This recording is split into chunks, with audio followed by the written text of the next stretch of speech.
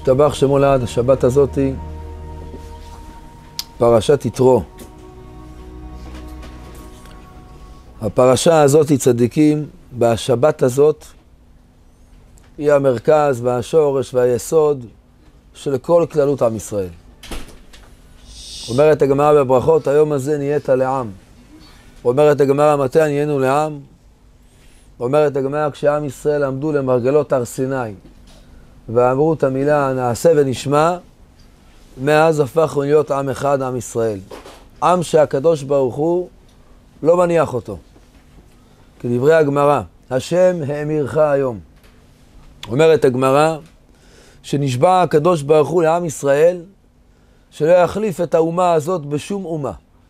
אף על פי שהם חוטאים, אף על פי שהם עושים את הדברים שלא צריך לעשות, אף על פי כן הקדוש ברוך הוא נדר נדר, ונשבע שבועה שאי אפשר להפר אותה.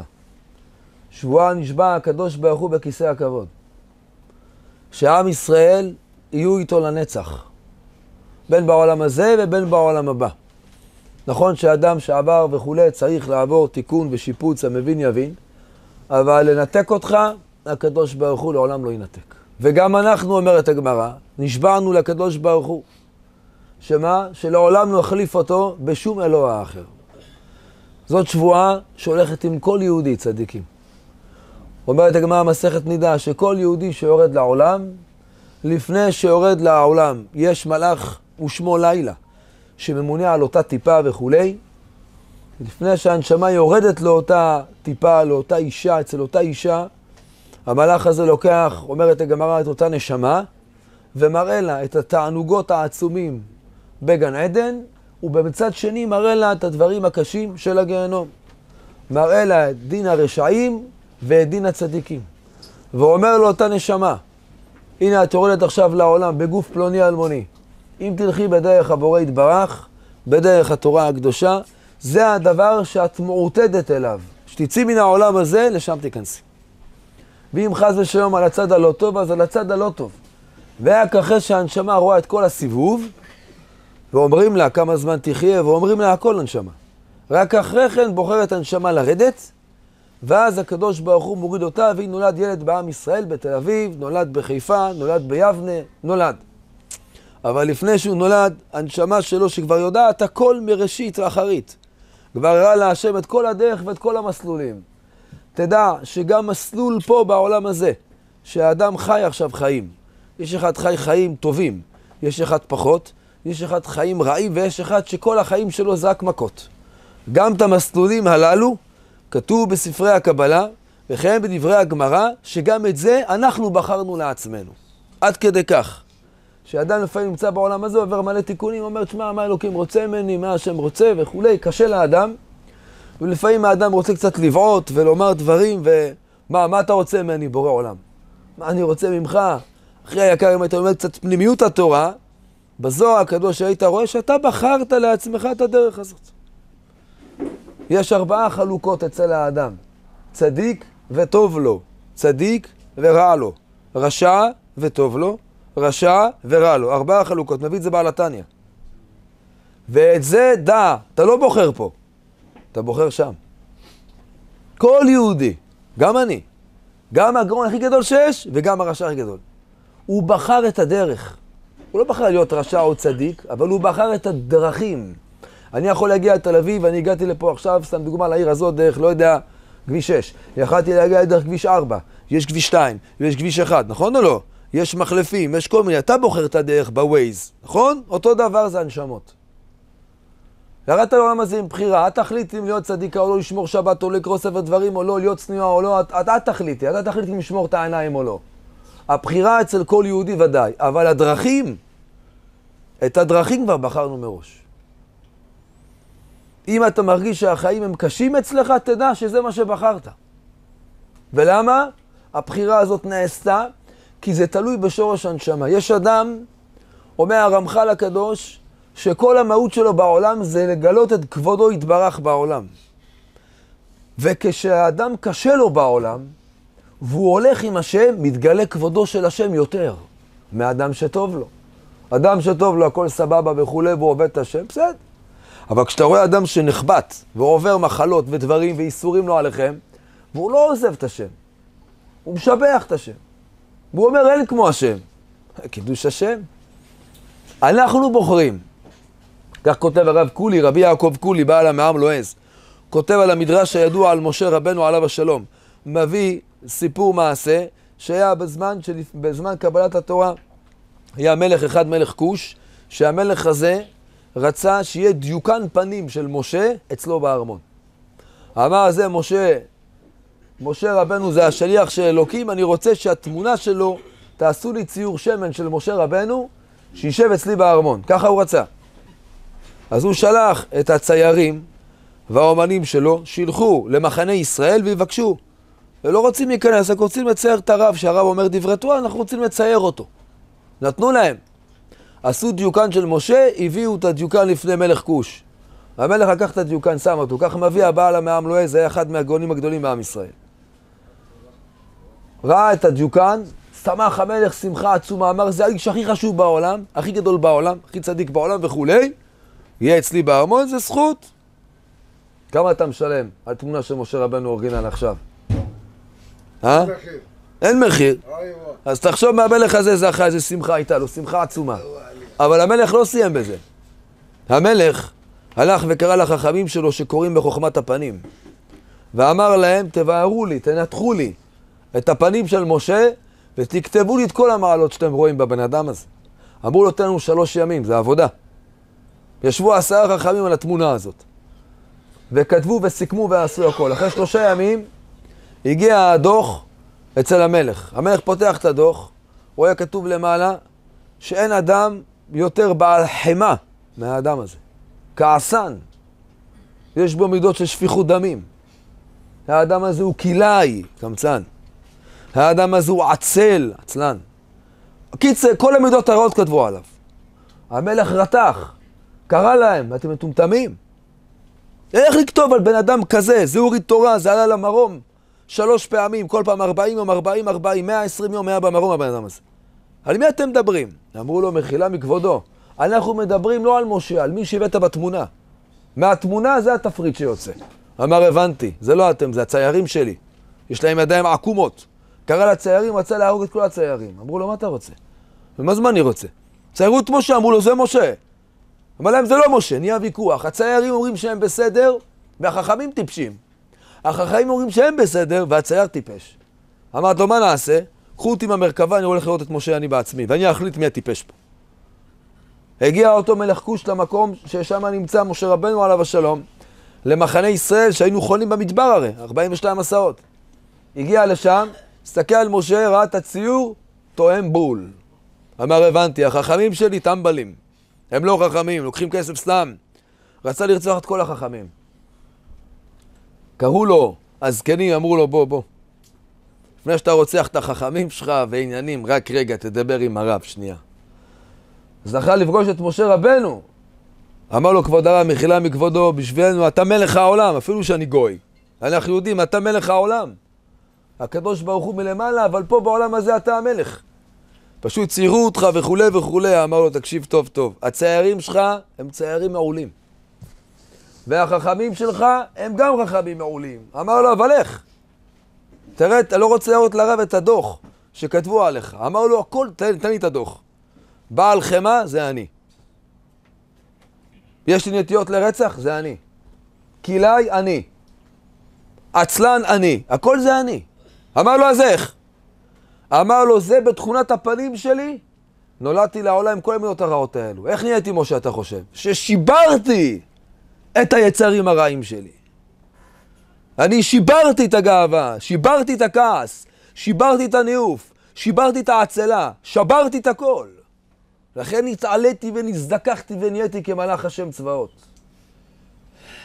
זאתי הדרך שבחרתי לפני שירדתי לעולם בתור נשמת משה, בחרתי מאלוקים את, ה, את השליחות הכי חזקה, הכי קשה, רשע ורע לו. לכן הורידו אותי לעולם עם כל היצרים הרעים. אבל מה המעלה של האדם צדיקים? שהוא נלחם עם יצר כי אם לא יאשפז אותך, 30, יש אנשים חיים 60, 70, 80 שנה יוצאים מהעולם הזה בסוף מהפרש. כל החיים עברו לו כמו תסריט, הוא בכלל לא יודע מה הוא עושה פה בעולם בכלל. פעם רדף אחרי ההיא, פעם רדף אחרי העירייה, פעם רדף אחרי BMW, פעם רדף אחרי בית, פעם רדף אחרי איזה דמיון, פעם אחרי איזה סם, פעם אחרי איזה חנות. גיל 70-80 מת, הלך. יעמוד מול אלוקים, יגיד אלוקים, בוא'נה, קוקו, וואו. איפה היית 80 שנה? יגיד לו, מה יגיד לו? עזוב גיהנום עכשיו, אבל מה תגיד? אמר משה רבנו, אני ירדתי לעולם עם כל מה שאמרו לך, זה אמת. אני האדם הכי עצל בעולם, הכי קמצן בעולם, הכי שפל בעולם, הכי כעסן בעולם, אבל נלחמתי עם יצע הרע ושיברתי אותו.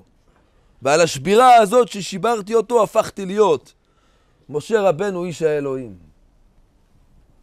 אומר רבי יושע פינטו הצדיק, מכאן ילמד האדם, אומר מורנו הרב הצדיק, מפה יבין האדם, אנחנו נמצאים בדור שהדור הזה הוא לא פשוט, בכל הבחינות. היום זה בכל הבחינות. אתה יכול עכשיו להיות חבר עם בן אדם חמש שנים, שש שנים, ממש כאהבת דוד ויונתן. פתאום הוא קם בבוקר, מתהפך עליך, נהיה שנאה ביניכם, אתה לא מבין מה רוצה ממך. תובע אותך, עניינים, מחלוקות, מה קרה לו? זה מה, זה אכל סמים? מה יש לו? זה הדור שאנחנו חיים בו, חבר'ה. זה דור שאתה לא יכול לדעת כלום. אתה יכול עכשיו לשים בבורסה והכסף יעלה, ולקחת מטבעות בבורסה או משהו, והנה אתה, וואלכ, טייקון נהיית. פתאום נהיית, יש לך 200-300 מיליון. עוד כמה חודשים, שתי ימים, הבורסה תקרוס, אתה קם בבוקר עם 100 דולר. איך? עכשיו הייתי מיליונר. זה הדור שאנחנו חיים בו, אומר האדמו"ר.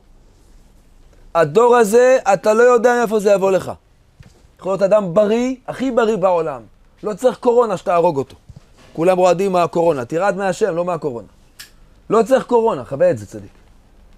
לא צריך קורונה. פתאום עבר פה ברחוב, פה אפילו, לא, לא יודע אפילו מה פגע בו.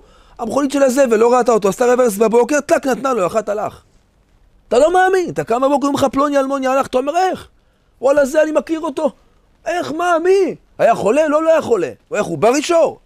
מה קרה? פה איזה משאית עשתה רוורס, לא ראתה אותו, זהו. אנשים נשואים חמש שנים, שש שנים, שבע, עשר שנים, הכל טוב, פתאום הם מתגרשים. אתה אפילו לא מאמין, הסיפור נופל אליך לאוזניים. אתה אומר, איך, הייתי אצלם בבית, עשיתי אצלם שבת, היא אוהבת אותו, אוהב אותה, ילדים צדיקים. איך, איך התגרש ממנה? אומר האדמו"ר הצדיק, תבינו אחים יקרים, בגלל שאנחנו נכנסנו כבר. פעם היו אומרים מתי יבוא משיח, גוגו מגוג, לא יודע מה. אנחנו בפנים. אומר האדמו"ר, אתה בתוך גוגו מגוג כבר שנתיים וחצי. מהיום שהתחילה הקורונה בעולם, זה תחילת הגוגו מגוג. כך כותב האדמו"ר וכך אומר האדמו"ר. מי אמר שגוגו מגוג צריך להגיע על ידי יריית אקדח? על ידי פיצוץ. זה גוגו מגוג. הקורונה הזאת, תראו איך היא מטעה את כולם, תראו, תראו איך היא מבלבלת את כל העולם. לא יודעים מה לעשות. אמרו לנו בהתחלה חיסונים, נתנו את כל הכתפיים, נגמרו הכתפיים, עכשיו עומד יזרקו לנו ברגליים חיסונים, אחי. לא שלא צריך לעשות, צריך לעשות, אבל מתי זה ייגמר? אין צפי. אנחנו לא יודעים כלום. כל יום רופא אחר אומר משהו אחר. הקדוש ברוך הוא מנענע את העולם, מבלבל את כל העולם. בעולם מזיז את כל העולם. כל החכמים, אין להם תשובות. כל חוכמתם תתבלע, יחוגו ינועו כשיכור. אין יותר חזקים, אין חכמים, אין מיליונרים, אין בריאים, אין כלום. והיו חייך תלויים לך מנגד. כך כתוב בספר דברים. אומר האלוקים, תדע שיהיה דור ויהיה זמן שאתה לא תדע כלום. מה זה כלום? אתה לא יודע מה יהיה עוד רגע. יכול להיות הכי טוב, יכול להיות הכי רע. אנחנו מצפים ודאי לטוב. יכול להיות שם כשהטוב שאתה רואה אותו, בסוף יוולד לך מנורה. אתה לא יודע מה לעשות. מי נגד מי? אומר האדמו"ר, למה הדבר דומה? דומה לחבל, אומר הרבי, שנמצא פה למטה והוא קשור למעלה בשמיים. אתה מזיז את החבל, נוגע בחבל, ופתאום נופל על האדם איזה משהו ממרום ששובר לו את כל העצמות. הוא אומר, מה עשיתי? כולה נגעתי בחבל. אתה פה נגעת בחבל קטן, אבל למעלה החבל הזה מזיז עולמות. כולה הדלקת סיגרה בשבת, מה, מה הסיפור? אז נפלת עם החברה בפגם הברית. טוב, מה קרה? אחרי זה יש מקווה, טובלים, לא, הכל טוב, נסעתי לרבנו, לא? מאותו רגע שנפלת שם, פתאום רק מכות. במשך איזה שנה, שנתיים אתה לא מוצא ידיים ורגליים. אתה אומר, איך? מה? אומר האדמו"ר הצדיק, תדע, אחי היקר, החבל הקטן הזה פה למטה הוא קשור לעולמות עליונים למעלה. ואם עד לפני כמה שנים הקדוש ברוך הוא סתם את העין ככה, כדי לא לראות את המעשים הרעים. עכשיו בורא עולם פותח את שני העיניים כי הוא רוצה להביא גאולה, זהו. בורא עולם אומר לעם ישראל, בניי, זהו, אני רוצה להביא לכם גאולה, נגמר, זהו. אני רוצה משיח, רוצה עולם חדש, אי אפשר להמשיך עם העולם הזה. כל העולם הזה כמו סיר לחץ, הכל מבעבע, עומד להתפוצץ, במדינה עומד להתפוצץ, הרשויות עומד להתפוצץ, המשטרה עומד להתפוצץ, הכל הביטחון, הרפואה, הבריאות, הכל על הפנים, הכל, הכל, הכל, איפה שאתה לא מסתכל. זה ככה. למה? זה, אומר רבי יאשיהו, זה כמו זרע שאתה שם באדמה ואתה רוצה שיגדל עץ. אתה משקה, שבוע ראשון לא יוצא כלום. שבועיים לא יוצא כלום. אחרי שבועיים וחצי פתאום יוצא איזה עלה ירוק. לפני העלה הזה, אם תוציא, ת, ת, תחפור ותוציא את הזרע, תראה שאת אותו זרע שחור ששמת לפני שבוע, הוא נהיה לבן וכל כולו נרקב. כל זרע שאתה שם באדמה הוא נרקב, כולו, עד שהוא מגיע לנקודה האחרונה שלו, שנקראת קסא דחיותא, ואז מהנקודה האחרונה שלו הוא מוריד שורש, ופתאום יוצא עץ. אותו דבר העולם. העולם הולך ונרקב במשך כמה שנים. והריקבון הזה זה לא ריקבון של חס ושלום אבדון, לא. עומד להיוולד פה משהו חדש. עומד לבוא פה משהו חדש. עומד לצאת פה אור לעולם. דבר גדול שאתה לא מכיר בכלל ואתה לא מדמיין אותו. אומר רבי יאשיהו, תכין כלים. תכין את עצמך לקבל את האור החדש. סבב דברים שאנחנו קוראים בשבת קודש. וכל העצות של מורנו הרב הצדיק זה הכנות וכלים לקבל בעזרת השם עם כל כלל עם ישראל את האור החדש. אישה בהיריון, חודש ראשון, שני, קשה, שלישי וכולי, נהיה כבר בטן, רואים את זה. שמיני, היא לא יכולה ללכת. כולה כאבים בגב, כאבים ברגליים, כאבים בידיים, לא יכולה לישון, לא יכולה להסתובב לצדדים. היא בהיריון. בפרט לידה ראשונה מאוד קשה. חודש תשיעי, כאבים, מתחיל צירים, זה הרגע הכי קריטי אצלה. מפנים אותה לבית החולים, היא בצער איום ונורא. מרגישה עומדת למות. מה זה צירי לידה של אישה? הגמרא אומרת, ציר אחד אצל גבר הוא מת במקום. אישה יכולה לסבול פי מאה יותר מגבר. יש לה כוחות שנתן לה. ציר אחד אצל גבר, מת על המקום. הוא לא יכול לשאת את זה. אישה סובלת את זה. בשיא הצירים, בשיא הכאב, שהיא מרגישה שעוד שנה שהיא מתה, פתאום מה נעשה? לידה. בא לעולם ילד. מה כולם אומרים? כולם בוכים. הקרובים. ואומרים מה? מזל טוב. מזל טוב. עכשיו היא כמעט מתה זאת. כן. היא כמעט מתה בשביל להביא חיים לעולם. אותו דבר העולם עובר הריון, אומר רבי יושע פינטו. עכשיו אתה נמצא בהיריון. אז לפני אחים יקרים 20 שנה, זה היה חודש רביעי, חמישי, לא הרגשנו את זה. אבל זה הולך ומתקדם ההיריון. עכשיו איפה נמצא? אתה בתשיעי בשבוע האחרון. כבר יש צירים, קורונה, בעיות, פרנסה, חרדות, בלגן של החיים. זה קורונה, זה, זה צירים. תדע שהצירים האלו יתגברו יותר. אבל תדע כלל נשמה יקרה, אתה לפני מה? לפני הולדה. כשיצא הילד הזה לעולם, והעולם יגיד מזל טוב, זה יהיה מזל טוב במלוא מובן המילה, מה שכל העולם חיכה. שש אלף שנה, אתה, אתה, אתה, אתה, אתה, זוכה לקבל. רק אומר רבי יאשיהו, כמו שאותה אישה, לפני שהיא יולדת את הילד, חודש רביעי, חמישי, שישי, מה היא עושה? היא הולכת קונה את הזה, את העגלה, נכון או לא? חודש שמיני תשיעי כבר יש טיטולים בבית, כבר קנתה לו בגדים, כבר בודקת איזה מטרנה, כבר בודקת איך עושים, מה זה טיפת חלב, איך, איך, איך עוזרים לילד, איך מסדרים. למה? היא עושה הכנה לקבל את הילד. כשמגיע הילד לעולם הכי מקרים, מה קורה איתה? זהו, השתבח שמו של המלך. נולד הילד לעולם, יש לו כבר מקום איפה להיות, יש לו איפה לשהות, יש לו מה לאכול, אותו דבר אנחנו. אנחנו נמצאים במציאות הזאת. אנחנו צריכים לבדוק, אומר האדמו"ר, בכל דבר אצלנו בחיים. כל כלי שמגיע אליך או אלייך, כל דבר, כל כלי.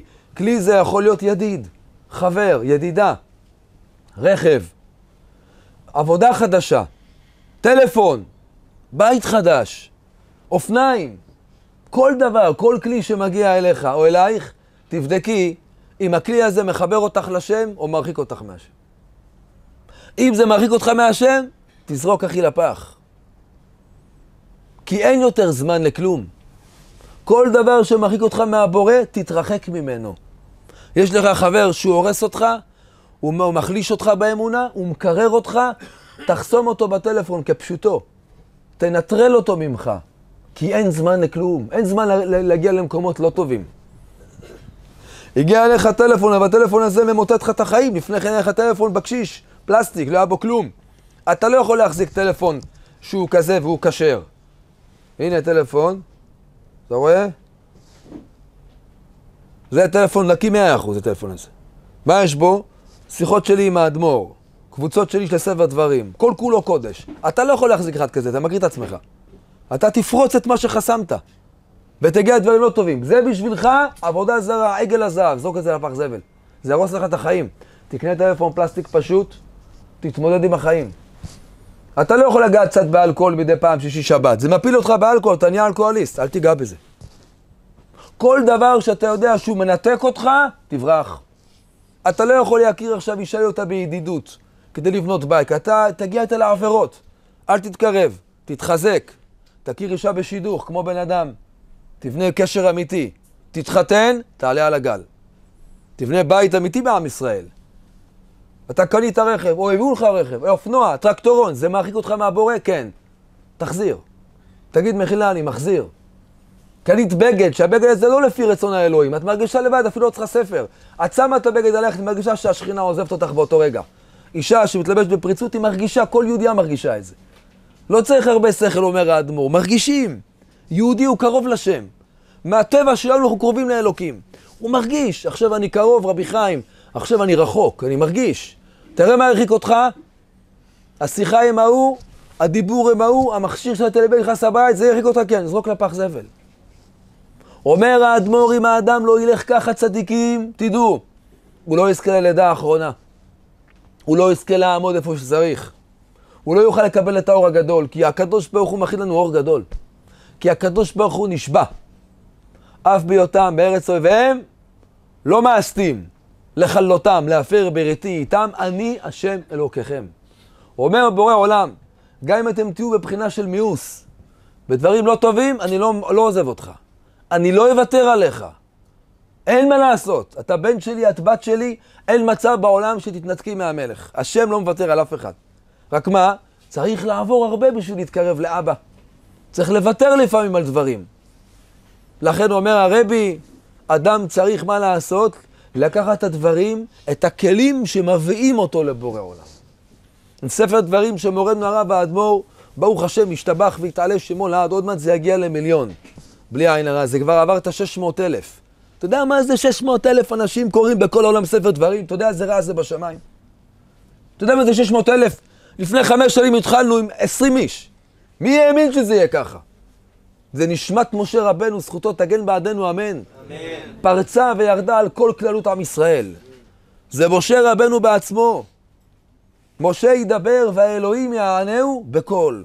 אומר רבי אברהם גלנטי, אדם קורא ספר דברים מתחילתו ועד סופו, נשמת משה רבנו נכנסת בך, לעזור לך. נכנסת בך, לעזור לך, להרים אותך, לפתוח לך את הנתיבים, לנתב לך את המוח, להוציא אותנו מהסירחון, להכניס לנו אהבת הבורא, אהבת השם, לקרב אותנו. זה לא פשוט, חבר'ה. מי האמין? אני לא האמנתי, את האמת. אני, כשהרבי אמר לי להתחיל לחלק ספר דברים, לא האמנתי. מה, מה, כאילו... כבוד הרב, כאילו... אמר לי רבי חיים, זה תיקון הדור, תתחיל. תתחיל, תתחיל, כל הכוח. אתה תראה, כל עם ישראל יקראו את זה. כל מי שקורא את זה בתוך הגאולה, רבי חיים. תחלק. וואלה, הייתי מחלק. פתאום קיבלתי פידבקים מהאנשים, אנשים, תשמע, בוא נהיה לי נס, טאק, בוא נפתח לי, בוא נהיה בוא זה, בוא נהיה, התחתנתי. התחלתי לשמור שבת, כבוד הרב הייתי בסמים 20 שנה, יצאתי מסמים. אמרתי, מה הולך? הייתי כותב לרב בוואטסאפ, מתכתב איתו, אמרתי לו, הרב, תשמע, לא יודע, זה אמר לי, זה, זה, זה תל אביב, הרצליה, בום, טח, חיפה. לא יודע מה הולך. אומר לי רבי חיים, זה כלום.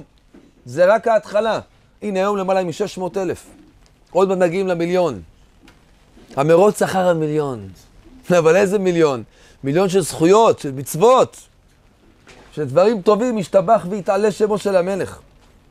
לכן האדם, צדיקים, צריך להיות ערני, לא להיות רדום, לא להירדם על האף, נשמות יקרות. אדם צריך להיות ערני, להיות דבוק בצדיק, דבוק בצדיקים. לי אין כוח. אל תחשוב פה, רבי חיים בא, שרתם מקודם שירים. זה שירים יפים וטובים ששרים אותם לצדיקים. אני בדיוק כמוכם, רק קצת למדתי תורה, זה הכל. אני מעביר, אני המתווך, של האדמו"ר הצדיק, מורנו הרב. זה הכל, לא בענווה, אני אומר לך בדיוק, זה עמידת נעליים שלי. אל תטעה. נכון, אני קרוב לאדם ענק. כן, כן, גם אתה יכול להיות קרוב לאדם ענק. זה בחירה שלך. אתה תיקח סבב דברים אליך לחיים, תיקח את ההנהגות של האדמו"ר, תשמע דברי תורה, תשמעי דברי תורה של הרבי, את תראי תוך שבוע כל החיים שלך מתהפכים למקום אחר. בדוק מה שאני אומר. הכוח של הצדיקים הוא כוח עצום. הקדוש ברוך הוא ראה שצדיקים מעטים ושתלן בכל דור ודור. בכל דור בעולם הוריד צדיקים כדי שיגנו על הדור, כדי שיכוונו את הדור, כדי שיטיבו עם הדור. ואחד מהצדיקים שבלי עין הרע יש לנו בדורנו זה, זה הקדוש, כבוד קדושת מורי ורבי, קודש הקודשים מלאך השם צבאות, אדם בעל איסורים מפחידים מגיל תשע. מגיל תשע בן אדם אכל סרטן פעם ראשונה. למעלה משש או שבע פעמים מחלות סרטן, חצי מהגוף הפנימי לא קיים אצלו. למעלה מ-52 ניתוחים, שבע רק בראש. בן אדם שכל הרופאים של העולם, לא פה הקטנים, שהיום פה ומחר עובדים בקיטבק. אנשים, אנשים ענקים, אמרו לי שדיברתי, הבן אדם הזה זה נס מהלך. אנחנו לא יודעים איך הוא חי, איך הוא מתפקד, לא, לא מבינים כלום. אין לבן אדם הזה לא כליות, לא זה, לא שק זה, לא זה, לא זה, חסר זה, אין זה. אתה לא מאמין בכלל שיש דבר כזה. אמר לי הרב, רבי חיים, ספר דברים, זה הספר שמחיה אותנו. הכוח של משה רבנו עליו השלום, תראה משה רבנו עליו השלום, בפרשת שבוע שלנו, צדיקים. עכשיו, שעם ישראל אמרו, נעשה ונשמע. במה קיבלנו תורה? במה קיבלנו? בשני מילים, חבר'ה. מה אמרנו? אמרנו את הדבר הכי חזק בעולם. אמרנו, בורא עולם, אנחנו נעשה ונשמע. איך יכול להיות? לעשות לפני ששומעים. אנחנו קודם כל שומעים, אחרי זה עושים. לא, לא, לא, אנחנו בורא עולם ברוב שאוהבים אותך, סומכים עליך, בנים שלך, לא נעזוב אותך לעולם, נלך איתך כל הכוח. אנחנו נעשה לפני שנשמע. לא מובן בשכל. אפילו מלאכי השרת, אומרת הגמרא, הזדעזעו. ואמרו, מי גילה את הסוד העצום הזה לעם ישראל? הסוד הזה של נעשה ונשמע, אנחנו המלאכים יודעים אותו. כי המלאכים עושים לפני שהם שומעים. מלאך זה אש. אבל בני האדם צריכים לשמוע. אמר הקדוש ברוך הוא, עם ישראל, אתם דומים לעץ התפוח. למה לעץ התפוח? ככה אמר הקדוש ברוך הוא. כל הפירות, אמת. כל הפירות בעולם צדיקים, העץ קודם כל מוציא פרח, ואחרי זמן הפרח נופל, יוצא קלמנטינה, יוצא תפוז, יוצא אשכולית, שקדים. קודם כל פרח, נופלים הפרחים של השקדיה, ואז יוצא השקד, הפר. יש עץ אחד בעולם, שיוצא הפרי לפני הפרח, זה התפוח. התפוח זה העץ היחיד בעולם שהוא הפוך מכל העצים. קודם כל מה עושה? מוציא את הפירות, יש לו עזות. בואנה, תתקדם כמו כל העצים, לאט לאט. תוציא פרח, אחרי זה פרי. לא, התפוח הוא יוצא ראשון. עם ישראל מה אמרו? נעשה ונשמע, כמו התפוח. כמו שהתפוח הוא מוציא את הפרי לפני הפרח, ככה היו עם ישראל. והקדוש ברוך הוא על זה הכי מקרים, רכש להם כבוד עצום ונתן את השבועה הגדולה. שלעולם השם לא יחליף את עם ישראל בשום אומה אחרת. לעולם. אין מצב כזה בעולם, אחים יקרים. מה עשה הקדוש ברוך הוא? אומר רבי יונתן בן עוזיאל, זכותו תגן מעדנו, אמן. בזכותו כל הרווקים יזכו להתחתן. אמן. אומר רבי יונתן בן עוזיאל, הקדוש והטהור, הקדוש ברוך הוא הרכין שמי שמיים העליונים כלפי מטה, וגלש עם כיסא הכבוד מהעולמות העליונים עד לארץ למטה. והעמיד חופה ענקית, והוריד 22 אלף מלאכים למטה. והמלאכים היו מסביב הקדוש ברוך הוא, ומחזיקים את החופה. ואמר הקדוש ברוך הוא, השתבח שמו לעד, יבואו בניי. מי זה בניי? זה אתם, עם ישראל. יבואו בניי וייכנסו תחת החופה.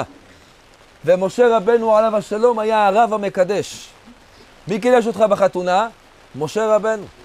ואריסתיך לי לעולם. והריסתיך לי בצדק ובמשפט, בחסד וברחמים. מי עשה לנו את האירוסין, את הנישואים? משה רבנו.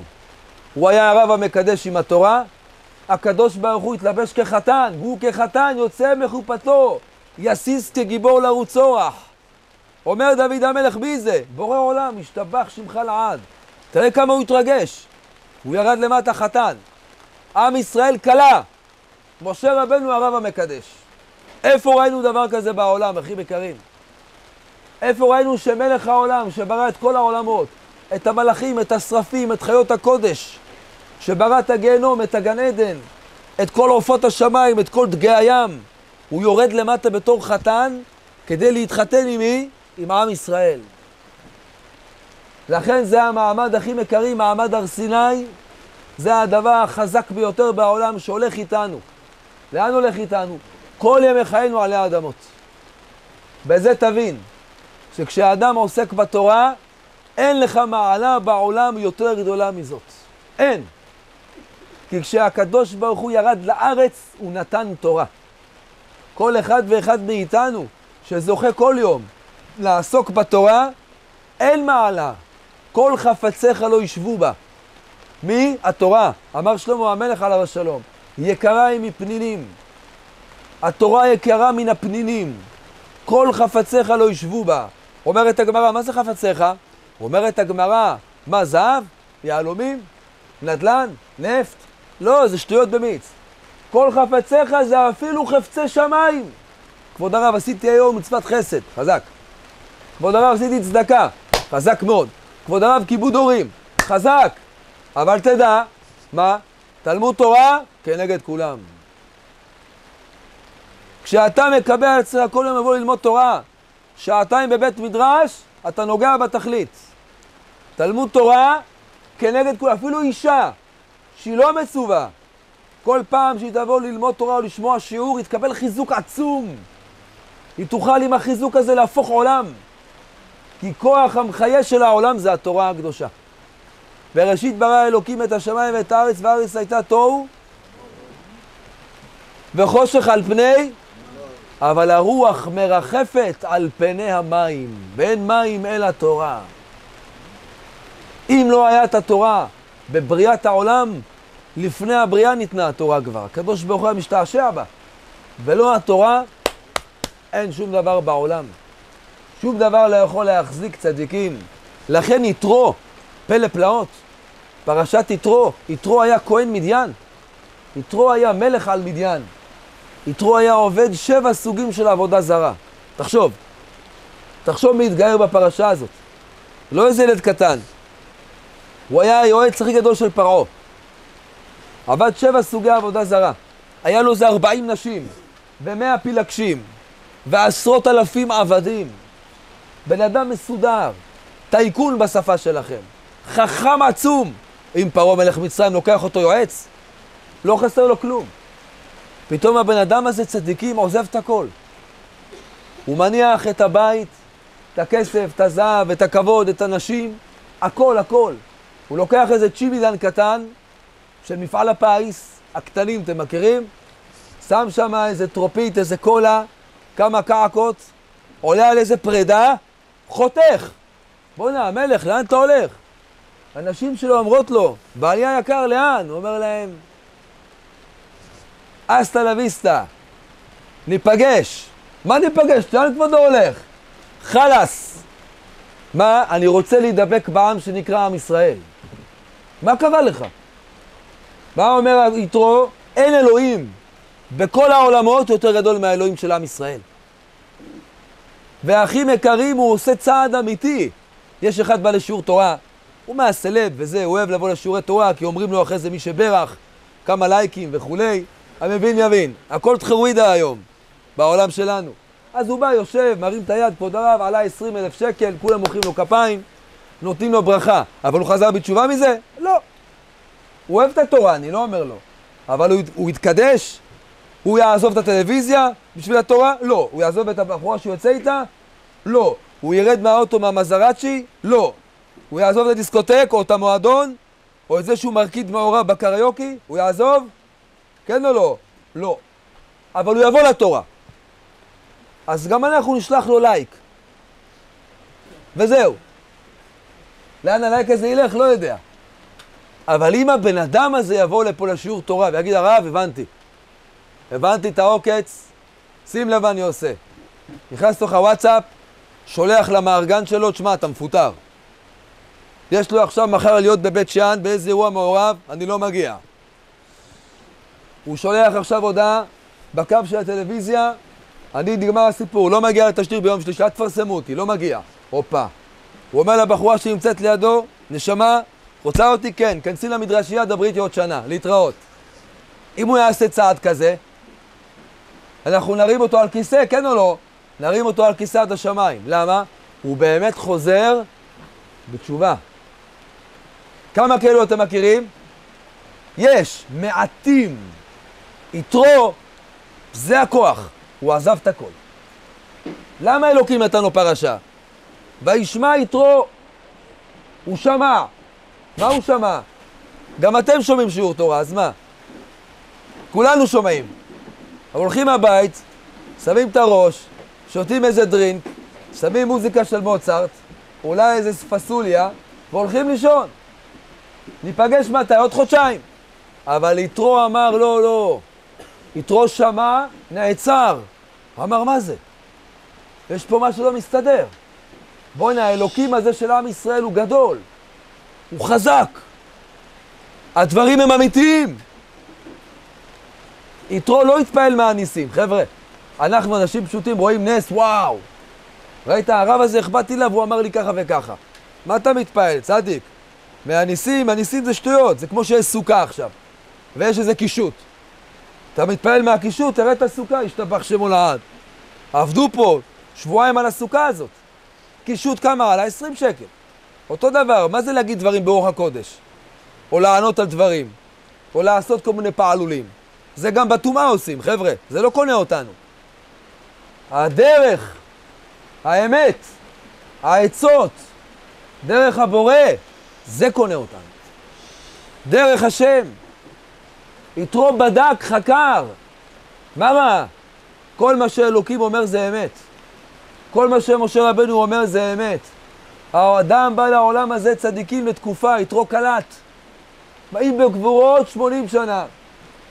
החיים שלנו 70, אם בגבורות 80, הלוואי כולם יחיו 120. תגידו אמן. ויהיו צדיקים, כן, במאה ה-20. זה הכל הפואנטה. יתרו קלט. מה הוא קלט? יש דין ויש דיין, יש בורא לעולם. עשית רע, אתה תקבל רע על זה, במוקדם או מאוחר. עשית טוב, בורא העולם ישלם על זה, על הטוב. יש דרך. עשה ברקס, עזב את הכל, עלה על החמוריקו, לקח את הצ'ימידן הקטן, השאיר את העבודה זרה בבית, אמר, אני גמרתי איתכם, סלמת. לאן? למשה. הוא מגיע, אחי יקר למדבר, מי יוצא לקראתו? משה. משה קם, יוצא מאוהל מועד. כבוד הרב, לאן אתה הולך? משה רבנו. אני הולך להגביל את פניו. אהרון אומר, אם אתה הולך, אני הולך. 70 זקנים, מה אמרו? בואנה, אם משה רבנו הולך, ואהרון, גם אני הולך. גם הוא יצא. עם ישראל אמרו, בואנה, משה יוצא, אהרון והזקנים, גם אנחנו יוצאים. כולם יצאו להגביל את פניו. למה? הוא עשה צעד גדול מהחיים, צדיקים. אומר הזוהר הקדוש, כד אתי יתרו, כדי להתייקר והסתלק שמע דקודשא בריחו. אומר רבי שמעון בזוהר, כשיתרו בא, כשיתרו התגייר, כשאת חזרת בתשובה באמת, כשאני חזרתי באמת, התייקר ונתעלה הכבוד של הקדוש ברוך הוא בכל העולם כולו. זה אדם שבאמת חוזר בתשובה. חוזר בתשובה באמת. מה הפשט? מתנתק מהרע. מקבל שבת. מקבל את עצמה צניעות. מקבל עצמו לבוא ללמוד תורה כל יום. אחד כזה עושה נחת רוח לשם. הוא מגדיל את הכוח של האלוקים. לכן יתרו קיבל פרשה, אמר לו בורא עולם כך, פרשה על שמך. תראו משה רבנו בפרשת שבוע, יתרו רוצה ללכת אחרי הגיור, ללכת הביתה, לסדר את העניינים, להעיף את הפסולת. מה אומר לו משה? תשאר איתנו. מה נראה עליו? והיית לנו לעיניים. מה זה היית לנו לעיניים? משה נותן פתאום עצה, ל... יתרו נותן עצה למשה. איך יכול להיות דבר כזה?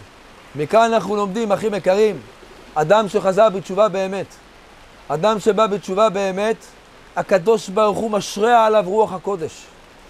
שנותן לו כוח, נותן לו עוצמה להתקרב למלך מלכי המלכים. תראה יתרו מה קיבל בפרשה הזאת. בעולם נתן לו כוח ועוצמה. משה רבנו מתייעץ איתו. ולא רק זאת, אומר האדמו"ר, זכה יתרו, שמבני בניו למדו תורה בלשכת הגזית. הילדים של יתרו קדימה זכו לשבת בית המקדש. איפה? בלשכת הגזית. להיות מראשי הסנהדרין, לתת עצה לעם ישראל. צעד אחד שהסבא הגדול עשה, משרה אור לכל הצאצאים. טעות שסבא אחד עושה, משרה חושך על כל הצאצאים. זה החיים, חבר'ה. את פנית טיפה ימינה, נתת כוח לילדים שלך קדימה. לא עכשיו, עוד 30 שנה הם יצטרכו אותך. מי שמסתכל, אומר רבי יהושע פינטו, הדור הזה זה דור, אין להם ראייה בכלל. כל דבר טוב שאנחנו עושים זה כוח לילדים שלנו, לנכדים, לסבות. הסבות עשו דבר, זכינו אנחנו פה לחזור בתשובה. כי הסבות שלנו עשו דברים טובים. ככה זה הולך, צדיקים. זה שרשרת גדולה. מהסבות עד אלייך, עד אליי. כל דבר טוב שאנחנו עושים, זה נותן כוח לא רק לך, נותן כוח לבית, נותן כוח לילדים. יש משפחה עכשיו, חמש ילדים, אבא ואימא. הם לא הולכים בדרך השם, מסכנים, השם יחזיר את כולם בתשובה. בא ילד אחד, בן 14-15, בא לשיעור תורה, נתפס. הוא רוצה את השם. התחיל לשמור שבת. התחיל להניח תפילין. התחיל לשמור את הברית. הבין שהטלפון זה המוקד הראשון. פירק את הטלפון. שבר את הכל. זהו. עכשיו, למה הדבר דומה, אומרת הגמרא? לעץ. עץ עם ענפים. שכל הענפים של העץ היו שמוטים לקרקע. והעץ היה נוטה לנבול. פתאום ענף אחד התרומם. כל הענפים פה למטה, ענף אחד התרומם, הוא מרים את כל העץ. ככה זה. אבא שלך חילוני, אמא שלך חילוניה, מסכנה, המשפחה כולם, אבל את קיבלת על עצמך צניעות. את אומרת, רבי חיים, מה עם המשפחה? אל תדאגי. את קיבלת צניעות, קיבלת שבת, כן. את עכשיו ענף שעולה כלפי מעלה.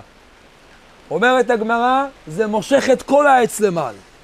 לכן הפוך. בית, כולם צדיקים.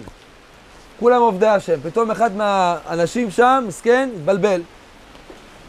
ראה סרט אחד יותר. קיבל בלבלה, יצא החוצה, הלך למקומות לא טובים, זעק כיפה, זעק הכל. אז ענף אחד ירד למטה. כל העץ למעלה, אבל הענף הזה למטה, אם לא ירימו אותו, הוא יכול למשוך את כל הענפים למטה. אנחנו קשורים. כולנו נשמה אחת, צדיקים. רבי חיים מתחזק, אתם התחזקתם. רבי חיים ירד, גם אתם יורדים. זה החיים. משל למה הדבר דומה? משל לאדם שנמצא בתוך אונייה ושכר חדר. עכשיו הוא צריך לנסוע לקריבים, חודשיים דרך. בדרך הוא רואה נופים, עניינים, בטיח, לא יודע מה. בסדר. עבר חודש, האונייה נכנסה שם למפרץ האטלנטי, היה סערה בלילה, נהיה בלאגן. אנשים פוחדים, חלק זורקים את הציוד, חלק מתפללים, חלק צועקים. ואחד מאיתנו ירד שם לחדר שלו בסבבה, יושב לבד. הרב חובל עובר דרך כל החדרים, מעורר את כולם, שמה? שיתפללו. שומע רעש מאיזה חדר, דופק, פותח את החדר שלך, רואה אותך קודח. אומר לך, מה אתה עושה, רבנו? מה זה מה אני עושה? אני שילמתי על החדר? כן או לא? מה אתה רוצה? הכל טוב. אני בא לי לקדוח. תגיד לי, מה אתה רציני? אתה תטביע את כולנו. מה אומר אותו אדם? הכי יקר, מחילה דמוקרטיה. חוק. חוק, חוק השוויון, חוק הזכויות, חוק הדיבור, כל החוקים שהמציאו אלו, כל הפרזיטים, הם הפרזיטים. כי הם מביאים את, את, את הגאולה במצב קשה. אתם עובדי השם. היהודי שומר שבת, הוא תורם לגאולה תרומה שהם לא יכולים לדמיין. הם הפרזיטים. הם עושים את החורים. מה יגיד אותו אדם? אני בחדר שלי עושה חור, הכל טוב. שילמתי הכי יקר אלפיים דולר על ההפלגה, שתחרר לי מהחדר. כולנו פה מבינים שאם לא נעצור את המטומטם הזה, הוא יטביע את כולנו, גם ככה האונייה עוברת טלטלות. אומר האדמו"ר, זה החיים. כל אחד ואחד מאיתנו קיבל חדר באונייה. איזה אונייה? זה העולם הזה. אתה רואה את הגשם? זה האונייה, הנה האונייה. הנה, יורד גשם. אתה תחשוב יכול למצוא על המים עכשיו, ממש. עכשיו אם אחד מאיתנו יקדח פה איזה חור, הלך עלינו. מה יגיד הבן אדם? זה הכיסא שלי, רבי חיים, שתחרר. אין דבר כזה. עם ישראל ערבים. לכן כל אחד ואחד מאיתנו צריך לדאוג לא רק לעצמו, גם לחבר, גם במשפחה. תלך לאבא שלך, תדבר איתו, אולי יקרא ספר דברים בשבת, אולי יניח תפילין, אחיך, אחותך, אל תתייאש משום יהודי. אחרי הכל זה יהודי. כמה שהוא עובר עבירות. ברגע שתיגע לו בלב במקום שצריך, הוא יתרומם, הוא יעלה, הוא יתעלה. אומר האדמו"ר, לא להניח שום אדם. כל אדם לקרב אותו. זה יכול שבת, טוב מאוד. זה יכול תפילין, שתבח שמו לה, תן לו תפילין. זאתי יכולה לקרוא ספר דברים, תן לה. ולא יכולה, תקרא חלק.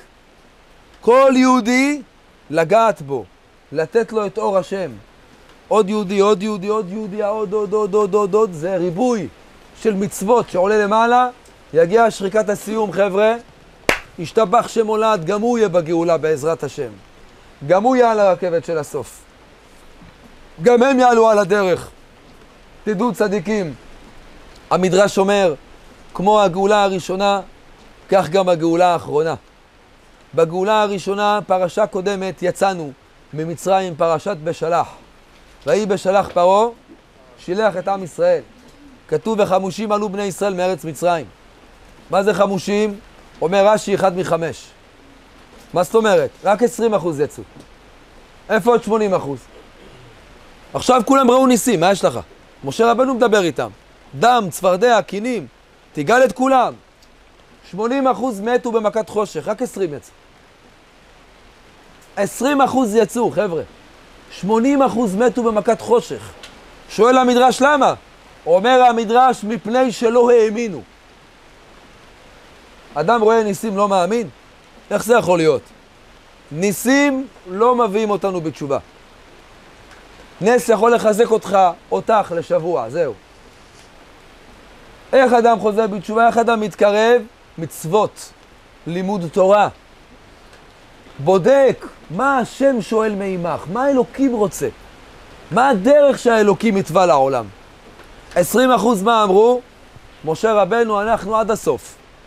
לקבל תורה, לקבל תורה, לעבור את הים, לעבור את הים. הלאה, בוא נתקדם, אנחנו איתך. 80% מה אמרו למשה? שמע, תן לבדוק.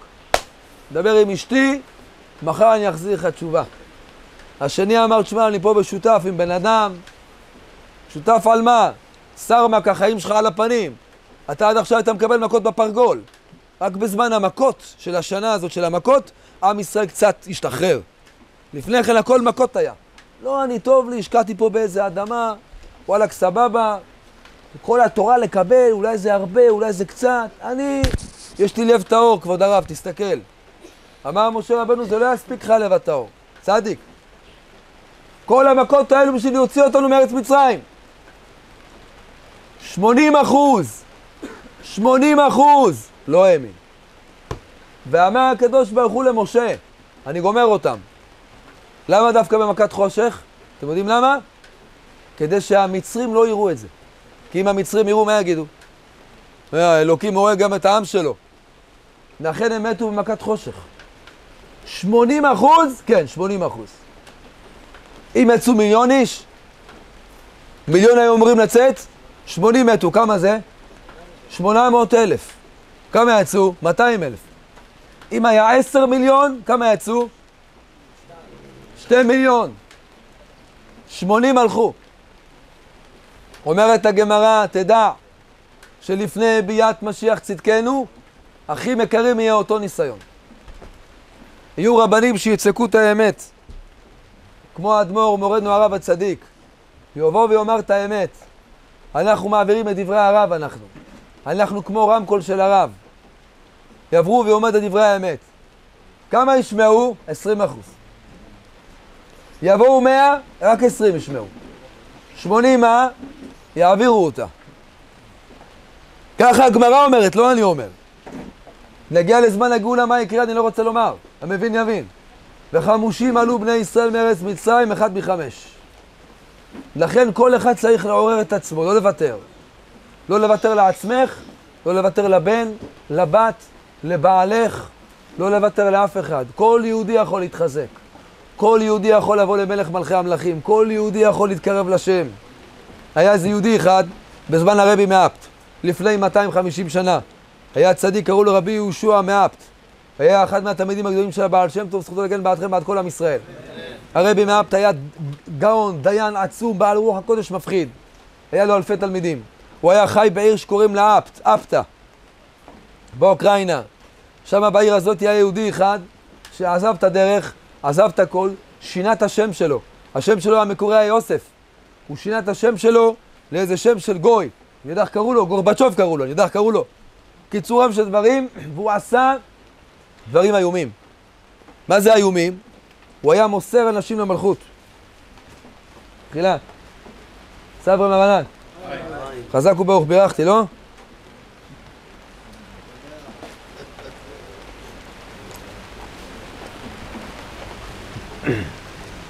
הקיצר היהודי הזה סבלו ממנו כל העיר. עבר שנה, שנתיים, חמש, באו לרבי מאפת, אמרו לו, הרבנו, מחילה, תעשו לו פולסא דנורא, תהרוג אותו. אמר, איך אני אעשה פולסא דנורא ליהודי? אמרו לו, זה לא יהודי, זה גוי. התחתן עם גויה, הביא ילדים גויים, והוא מסגיר יהודים למלכות. אתה יודע, שם, אוקראינה, רוסיה, יש להם שנאה יותר גרועה מהגרמנים.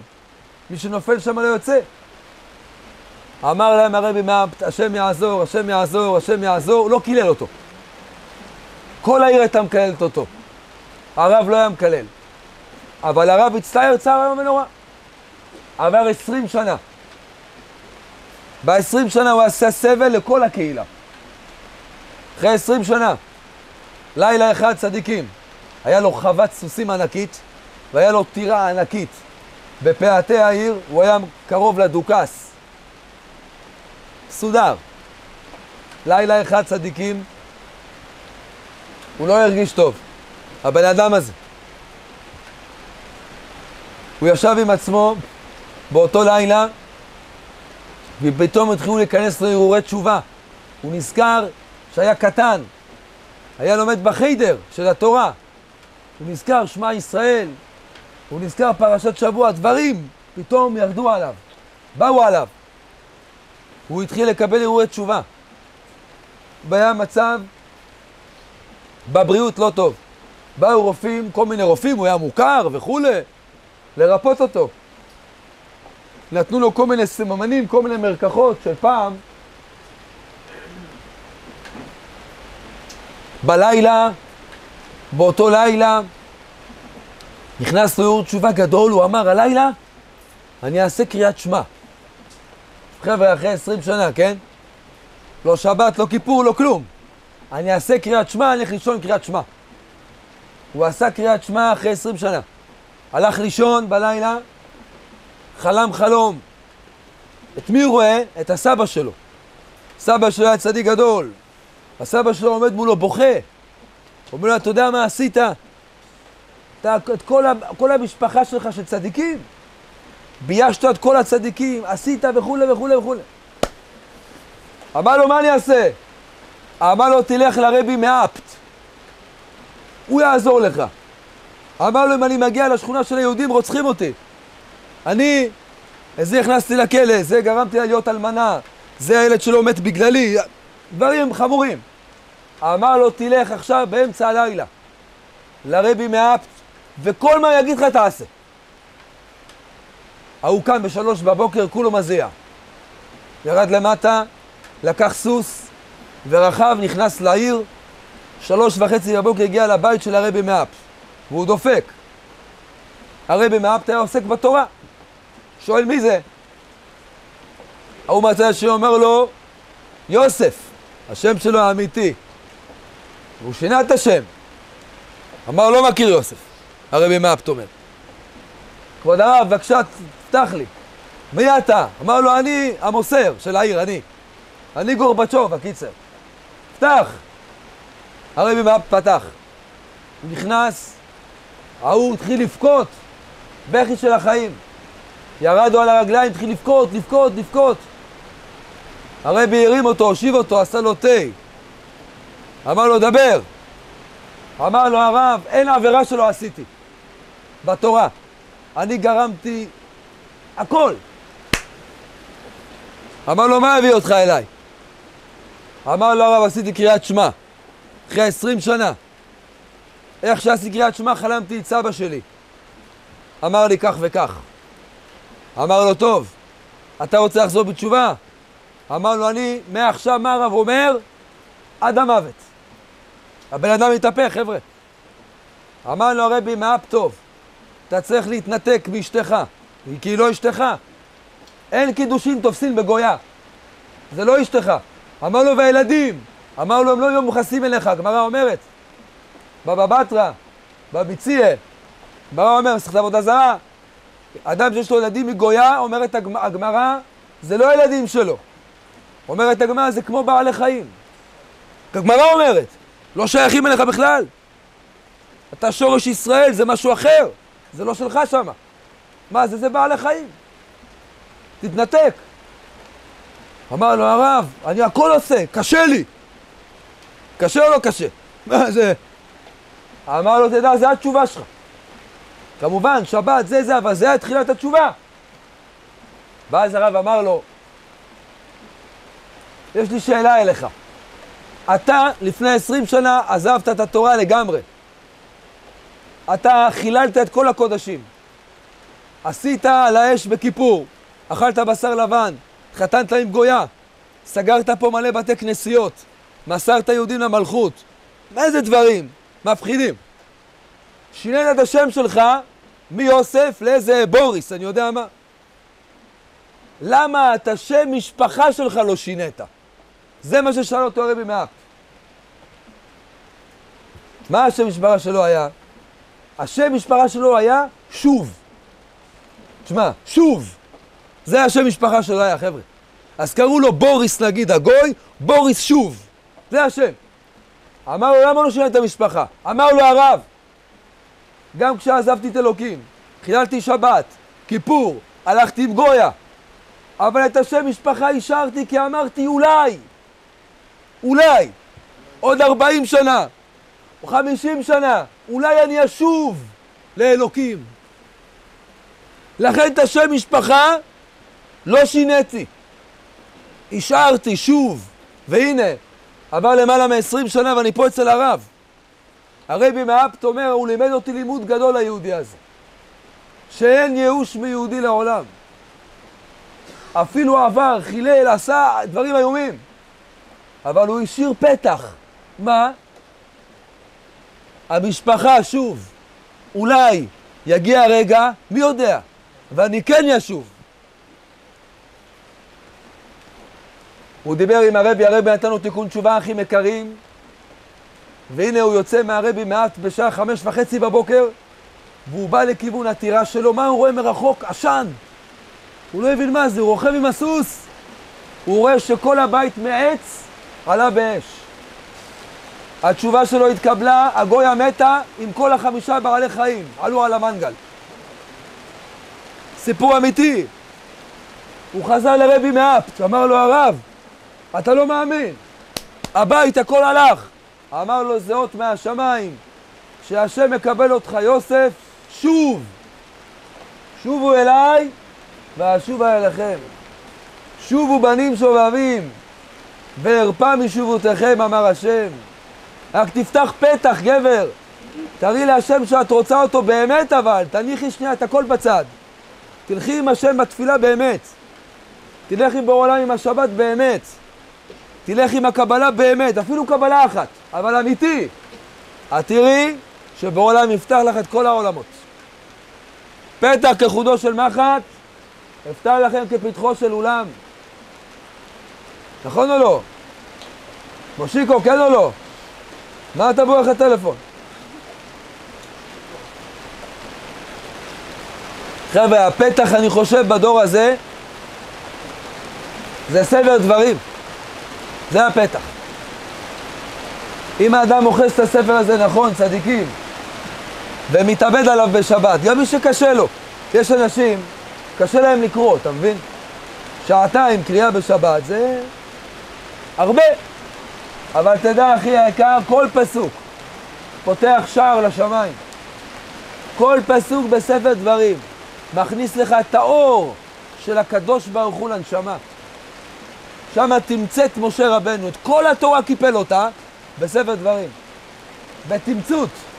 אני אחלק לכם ספר דברים, יש פה גם ציציות. מי שירצה ייתן לו גם ציציות. מי רוצה ציצית? אתה?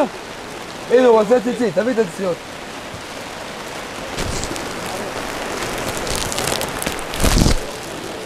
נפתחו ארובות השמיים, השתבח שמו.